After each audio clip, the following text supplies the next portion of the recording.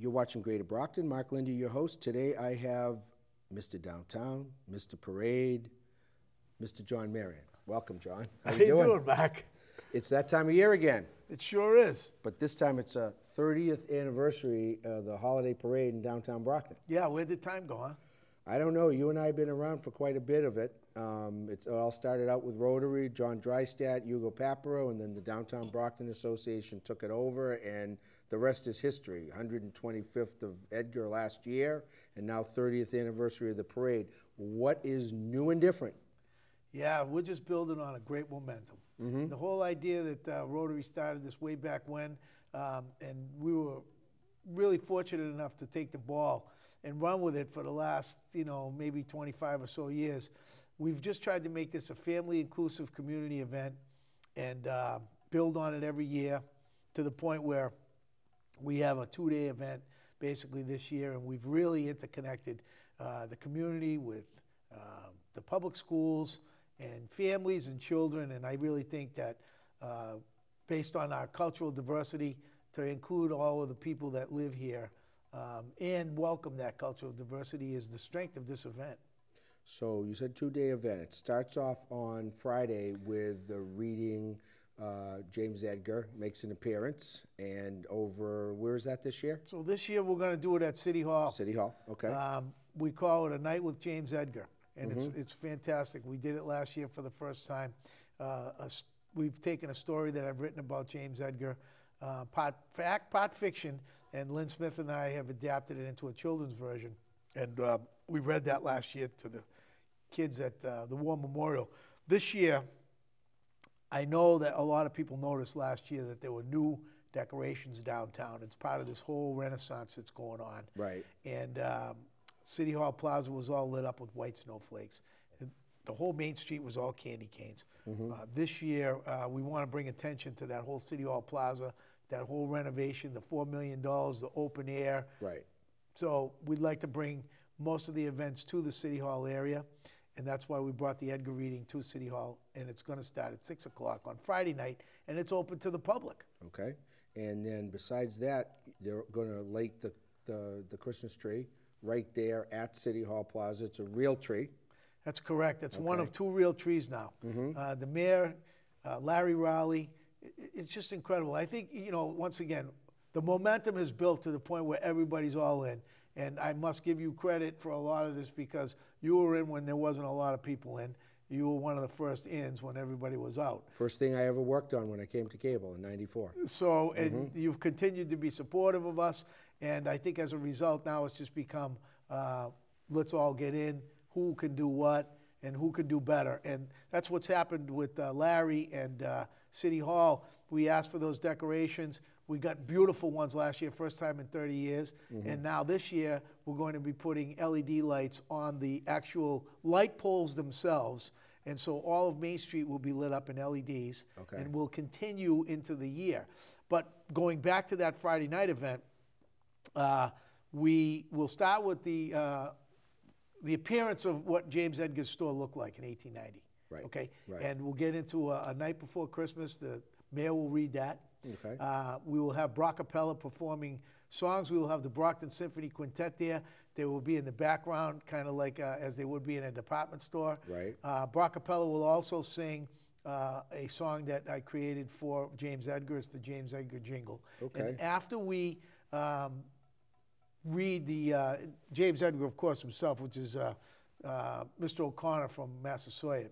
He's going to be James Edgar again. Okay, good. All right, and uh, at the end, when the children chant "We believe, we believe" with their candy cane, Santa will make an appearance in and then escort them out to one of the two spruce trees now that we have that are real, and we'll light that on City Hall Plaza. Is it true that Santa's going to register you to vote at the same time? Um, there's been rumors of that, but the election's over, Mark. I know. Well, there's always an election. The next election oh, starts the yeah, next yeah, day. Yeah, yeah. Um, so, so that's the, the night before the parade. It's the night And the before. parade November is- 25th. The parade, is there a, s- i- is a difference with this, and we have five minutes left, I just got the cu- cue. There's a difference this year a little bit with the Santa Hat Challenge, I heard. I don't know this. What, what, it's decorated hats or something like that? So that? Santa Hat Challenge, we want to challenge everybody to decorate their own Santa hat this year. Okay. Okay, and come down with their own Santa hat, and we're going to pick uh, the most creative Santa hat from whatever child is wearing that, and uh, that wonderful hat and child who's going to ride with Santa on the sleigh. And that's right before the parade. That will be, the Santa Hat Challenge will start at 12 o'clock. Mm-hmm. Please come down and let everybody know. The more the merrier. And then around 1245, leading into 1 o'clock, we'll take a big picture with everybody's Santa hat and breaking the record. And the parade will start at 1 o'clock. Okay, and uh, the parade, anything new and different for the parade this year? It just seems to get bigger and better. More schools add in, more bands add in.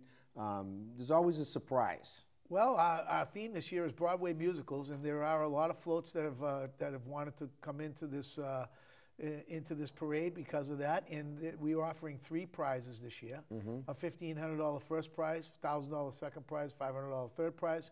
Uh, it's become very competitive. Many schools are involved. Many businesses are involved, um, and it's become a great, great uh, avenue to bring everybody together. Great, great reason to bring everybody together. And of course, everything starts off at City Hall at nine o'clock with pictures with Santa Claus. And they have So the, the 9 to 12. bazaar inside with all the City Hall different vendors and things like that. Are you bringing it all back to City Hall at the end of the parade? Because last year we couldn't because it was still under construction, I think, or was that the year It will before? end all right, blend. right in and around City Hall, but there won't be anything after at City Hall You do Plaza. that later in the year. You do like a, the, an award ceremony for James Edgar and you present the other awards. Winter's End Ball in February. There you go. But one other thing that we've added this year, and uh, we have a cover contest, which is uh, art cover contest, which is um, sponsored by Harbor One. Mm-hmm. we also have the James Edgar Essay Contest, which is sponsored by Good Samaritan Medical Center. And um, this year, we're going to take the art and the essays, and we're going to display them over at Trinity in the Enzo Flat Galleries. Okay. So we're going to open that up on Friday with all the art displayed uh, from at least five o'clock on, and hopefully the people will come.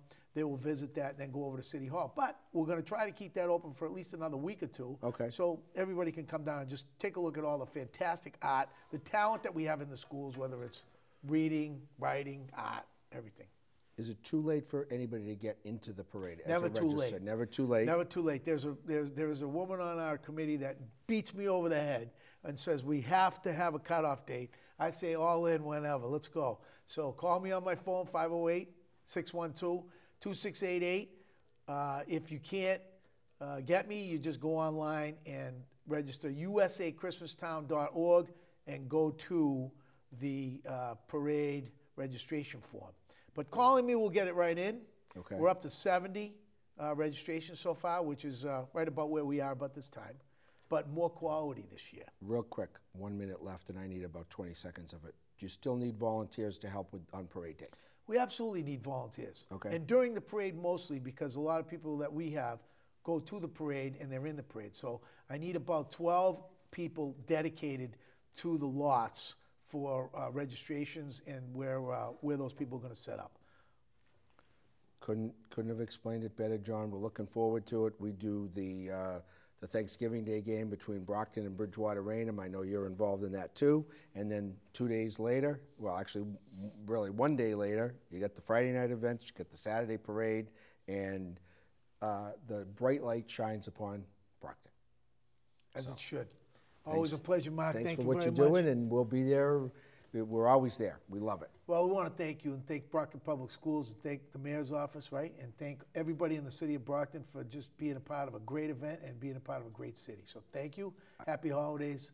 Happy. I love it. You are the most pumped person when it comes to the parade, uh, from day one, from the day I met you to, to now. So we'll do it up, we'll have fun, and uh, we'll go from there. Get there early. There's over a million expected. Sounds good. I love the. I love the, that's officially certified by an accounting agency.